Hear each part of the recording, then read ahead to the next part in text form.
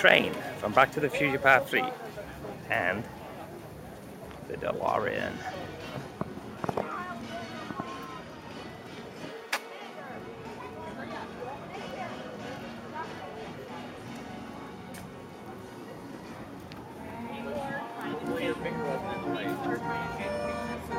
They want fixed. They were fixed.